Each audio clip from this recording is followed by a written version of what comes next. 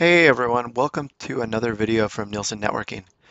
Uh, for this video, I thought it made sense to go over something that just popped up on my vulnerability scanner, and this is something known as Win Verify Trust Signature Validation Vulnerability. Uh, this is actually something that has been out, well, it's been a, it's been known since 2013, and uh, Microsoft originally you know, admitted this was a thing out there, but they came across as it was kind of just an optional um, level of validation you could enable. And um, they said there's just two registry keys, and that was their, you know, install these if you want. Kind of opt in is what they actually called it. You could opt in to the um, higher level. So anyway, people you know, were a little upset. So finally, Microsoft said, okay, fine. And like in 2014, yeah, fine. We'll we'll make this part of the default, and then if they want to change it, they can go down or disable it. Well, that didn't work because that actually caused grief with their um, software being installed due to their Authenticode. So in 2014, they just scrapped it and said, you know what, if you want to use this, go ahead and um, you know do what we said originally and just opt in and put those registry keys with the values that effectively enable it. So come 2022, in January of 2022, after numerous reports of this vulnerability being exploited and ransomware being installed, among other things, um, Microsoft republished this vulnerability. And that, I believe, is why it just popped up on my radar. So I will put the URL here to um, exact, you know, the, the CVE here, and you can kind of read it, but I just kind of give you the background of what it is. So we're going to need these two registry keys, and we're looking for ones with 64-bit. So the first two are going to be 32 then 64 to enable it, and the ones below it are going to be to disable it. So we want the effectively the second one because that's 64-bit, and that's what we have here. We're going to go ahead and copy that, drop down to the desktop here, and do a new text document. And we're going to want to name that, why don't we just name it WinTrust.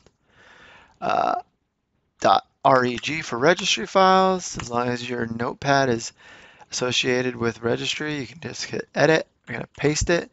We're going to save it. And we're going to get out of it. And then we're going to right click on it. And we're just going to do merge. Um, and you're going to go ahead and do this and it's going to give you a prompt that you know do you really want to do this you're going to hit yes and it's going to ask you again do you want to do it you're going to hit yes and then it's going to tell you it was installed and we can verify it was installed by going to the reg editor going to oh, there's nice local machines already open software Microsoft uh, cryptography WinTrust config 1. So we're good there. Uh, and just for giggles, we might as well go and check the 64 node here. Microsoft. And there you are. So it's good.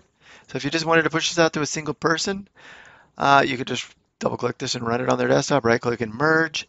If you wanted to push it to multiple people, you could do that with a simple, you know, batch file. You could probably, let me see if I can just show you how it would kind of look here. Run as admin. You have to run it as admin, uh, or it will tell you you don't have rights. So we're going to go here, and we're going to go reg for registry, and we're going to go import. And we're going to, oops, what did I do there? Oh, shoot, I accidentally pasted the uh, registry key. That's not what we wanted to do. So we wanted to do this instead reg imports. And this should be the, there we go. That's what I meant to paste. I don't know how that registry key got in there. And it's going to be wintrust.reg. So you could literally just put this in a batch file.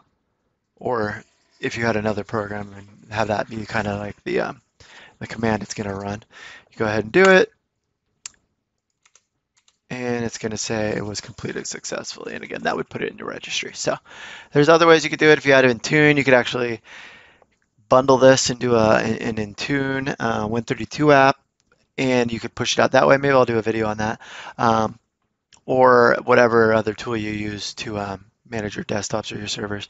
But anyway, that's it for that. Pretty straightforward. I just wanted to get it out there since it was new. If anyone had any trouble with this, um, Or if you have any questions, throw them in the comments. If you enjoyed this video, I'd greatly appreciate a like since we're a new channel here. Any any love is appreciated. Uh, we do plan to put a bunch of stuff similar to this content out there. You know, going from anything from Linux, VMware, Windows, uh, maybe a little Mac if my wife calls me into getting on her computer.